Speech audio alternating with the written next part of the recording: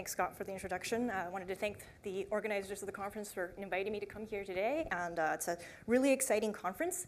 Um, and uh, when I heard that the, that the focus of today was, was going to be in neurofutures, um, I thought I'm just going to stick my foot way out there. And instead of talking about something that where I have a lot of answers, we're going to be asking a lot of questions, um, talking about a, a, relatively new project um, that I'm really excited about. And it's a little bit different than some of the things I worked on before.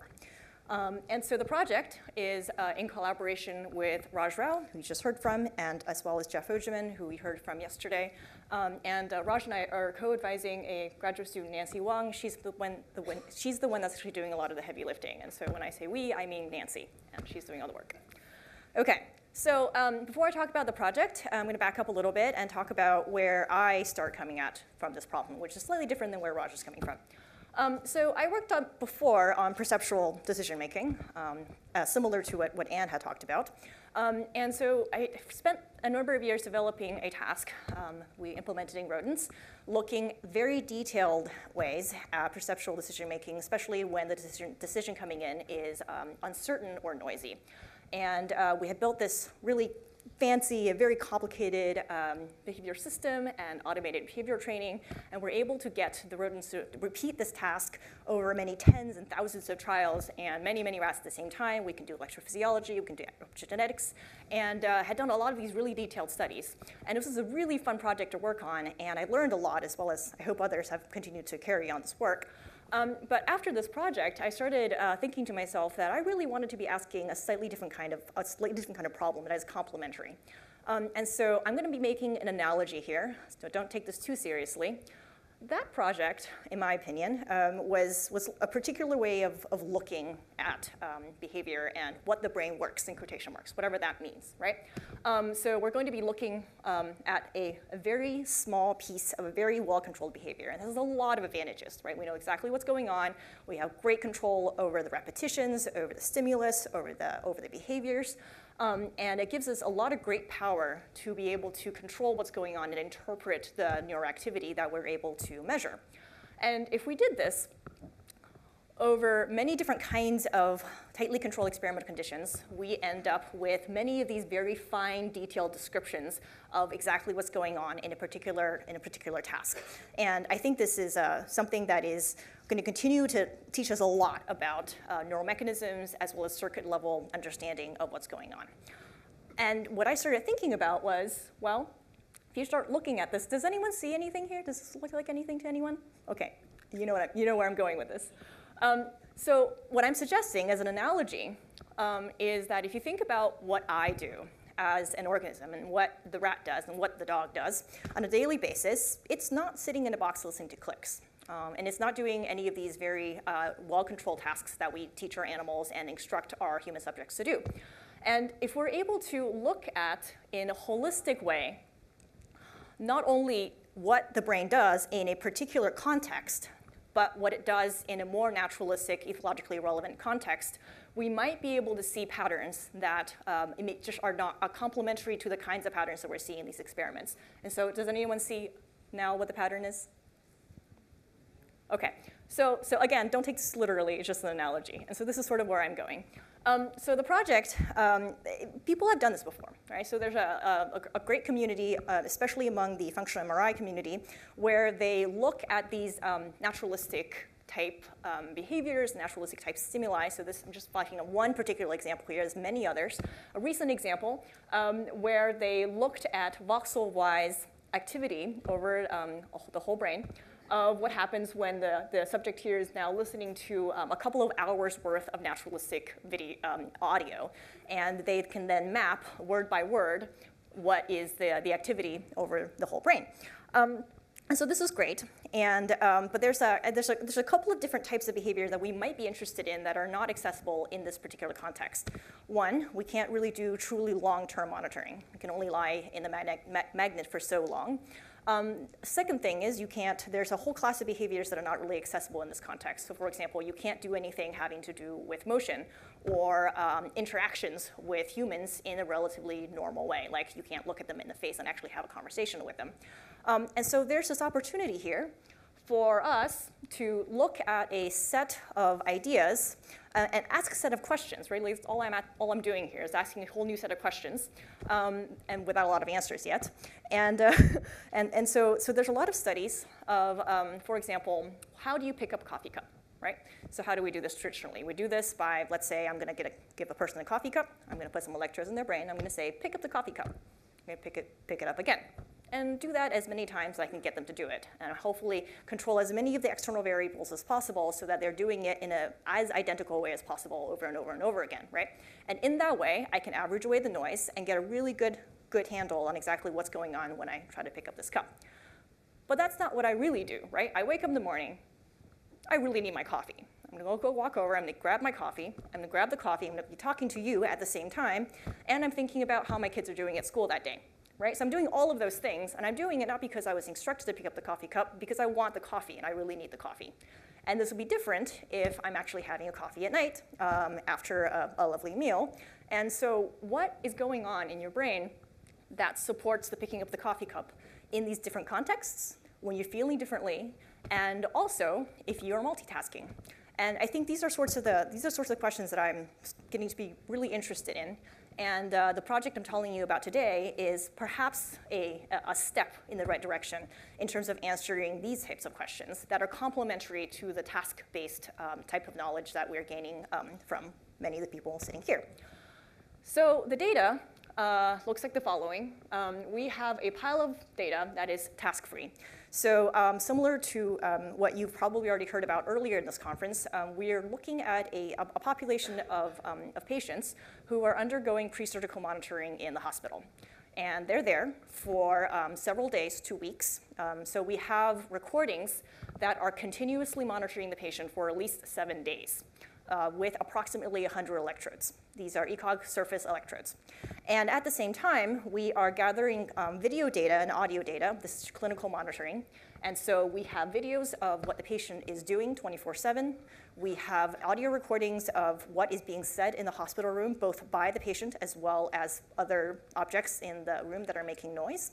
Um, and we recently put in a uh, Kinect camera in the hospital room to give us a finer finer monitoring of, um, you know, you can more easily perhaps get access to what the uh, limb movements of the patient are in this context.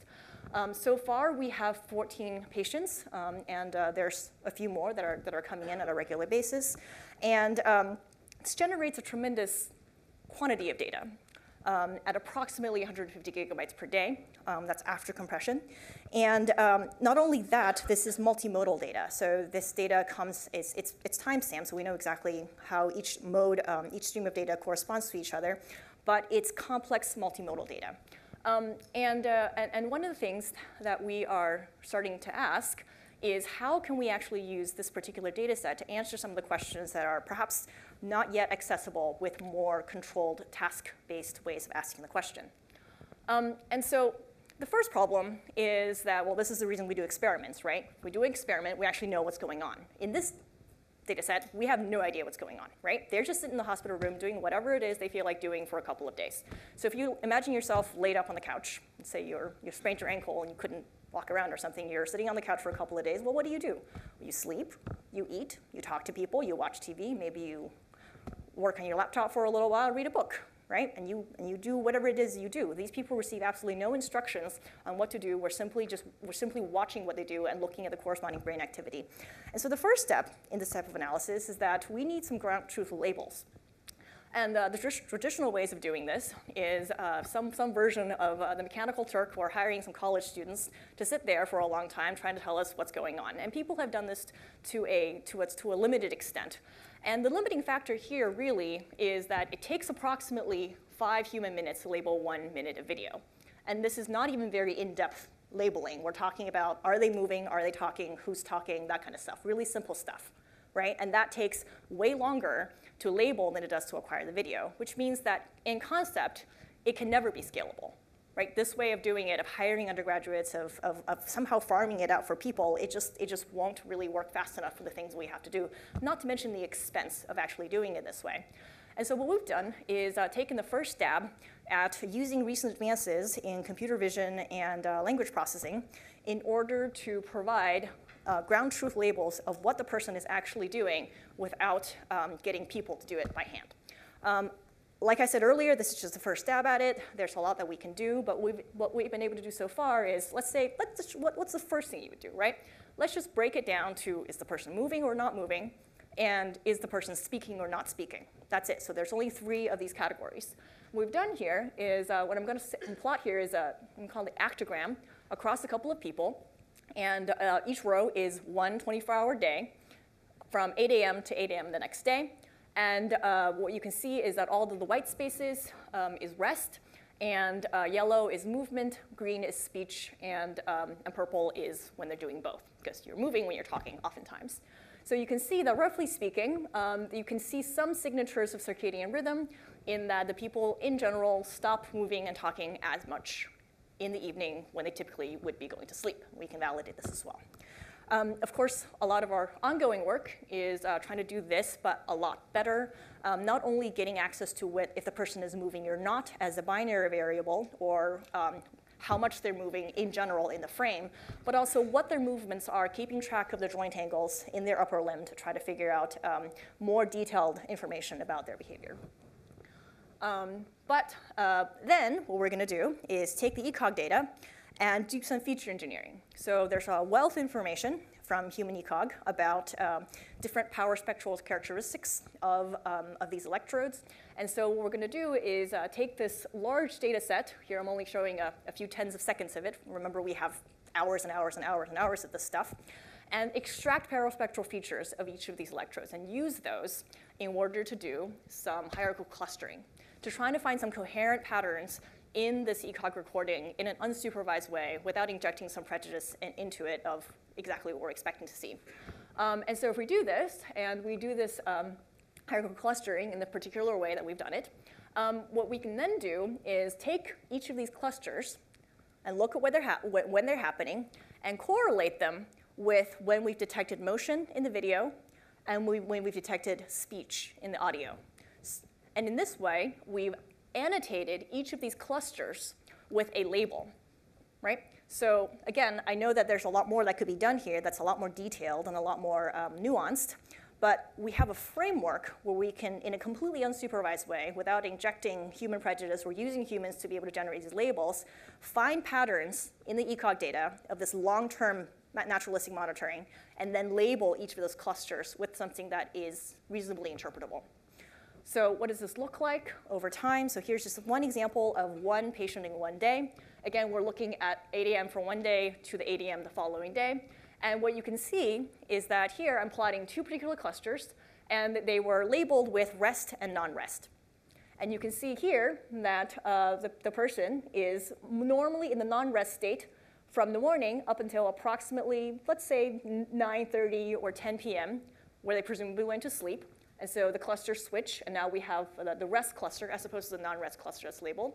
And if you look closely here, there's another switch here. There's about a one hour where the two are, are switched. And if you look closely at the video, that corresponds to when the person looks like they've taken a nap.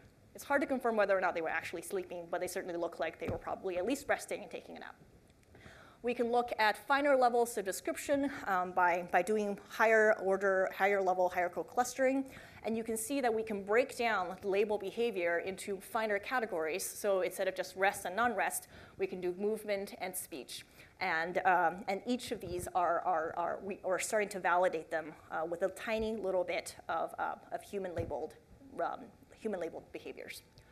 Um, and so it's, uh, it's great to talk about all of this automated analysis, but at the end of the day, we really have to have some handle, like, are we just making stuff up, right, or not?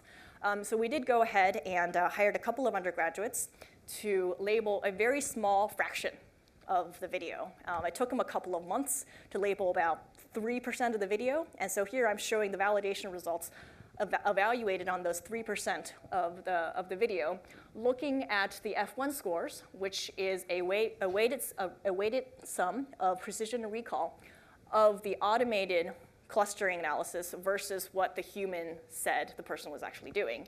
And you can see here, in terms of percentiles, overall we are, it's not perfect, but it's actually doing quite well and certainly well above chance. What does this look like? Um, on the other hand, um, is that we can look at these clusters and then use them to do a whole new type of functional brain mapping that is complementary to what is now done in clinical brain mapping. So typically what it's done now um, is that the person is instructed to do a task, right? So for example, this coffee mug reaching task that we were talking about. Um, and then you can then look over the brain activity, what's happening during the coffee reach task versus immediately beforehand and figure out, well, where it are the, the hand and arm reaching parts of motor cortex.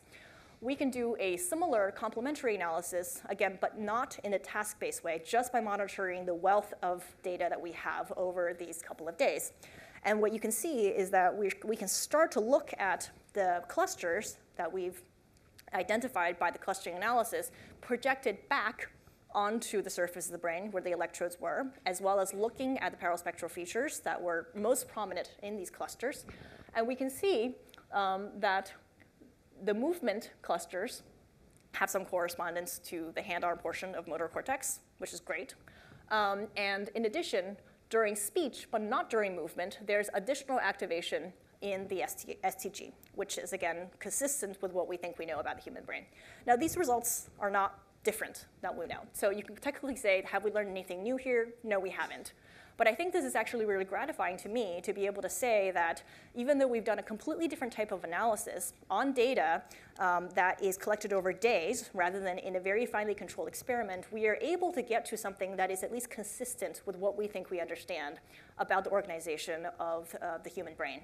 Um, and we are working to improve this analysis as well as um, as well as uh, improving the clustering analysis, as well as improving the, de the decoder classifier building um, analysis. And so um, those are all things we're working on. And um, like I said, this is just the first stab at it. I would love to hear more from you um, about um, if you have an idea of something that we, we would, you would like us to try, then, then we'll, we should definitely talk more about that later. Um, and, uh, and I'll thank again my uh, collaborators in the project and the funding sources. Thank you.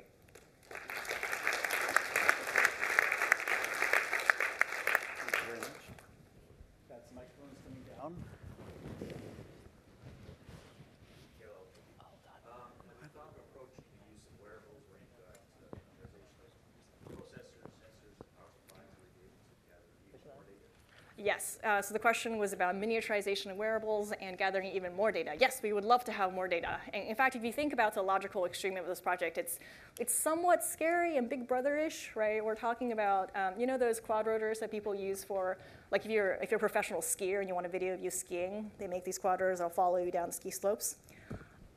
You can have that, right? So miniaturization, more wearables, more data, as well as you can imagine kind of out in the wild. There'll be instead of a clinical, clinical monitoring camera, it would be a quadro that just follows you around. Um, it's either very exciting or very scary. I haven't quite decided how I feel about it yet. Yeah, Anne? So yeah, really interesting talk. Um, and I, I, agree that this current way of collecting data gives you a really different picture of naturalistic activity in a way that that other kinds of paradigms of the sort that you've worked on don't. Um, but but as I'm sure you know very well, there's also a lot of trade-offs, right? Um, and and can you give us a sense of uh, what kind of question you think you can get at with this data set? I mean, are you thinking along the lines of the example that you gave um, that that there might be different the same movement at different times or during different states um, that that might differ in interesting ways? Absolutely. So so Anne makes a great point that uh, I'll just reemphasize again. Um, this is a matter of trade-offs, right? This is, there's no way that we can get the same level of, let's say, neural, neuronal level descriptions and circuit type mechanisms in this analysis. One, we don't have the measurements, and, um, and, and, and two, we don't have the precision of being able to know exactly what's happening at every single millisecond. Um, and so there's a very much a trade-off. And I think the trade-off here is that we are able to ask complementary questions right? Um, so for example, if you know really detailed level, what is the population neural activity of the motor cortex doing a particular arm reach task, one question that I would be interested in asking is, well, is that, is that set of neural activity, is that the same if you are in task or out of task, right? Is there some modulation by uh, time of day, mood, anything like that? And this is, to some extent, a data mining exercise. Um, the other thing that I'm really interested in is, uh, like I said a little bit, multitasking. Um, and you can study multitasking in a, in a controlled way simply by asking the subject or the animal to do multitasking. Um, but I think the question here is, is that the same if this is spontaneously generated behavior versus instructed behavior. And I think that's a question that we don't know the answer to until we, until we ask and look explicitly. And I think this is a type of data set that is particularly amenable for, for answering that type of question. Um, so there's definitely a lot of limitations to this type of, of analysis. Um, I, don't, I don't think this is something that is in lieu of doing experimental studies. Uh, I would never suggest that. Um, but I think this, just, like I said, is a complementary a way of looking at it. And I, I think especially if we can look and gain from some of the circuit level analyses um, that, uh, that, that others, including yourself, have done, um, it might be actually a really nice way of um, building a, a multi-scale level analysis of what's going on. So if you can get a handle on what's going on at the neuronal level, and then also get a handle on what's going on um, at a, a, more global level across cortex and in more naturalistic, naturalistic contexts, that might be a, a richer description of, of what's going on. So I very much would like to, to um, find a way of bridging those different levels of description. Um, and like I said, we are all trying to understand the brain, whatever that means, right? So I think there's different ways of looking at that.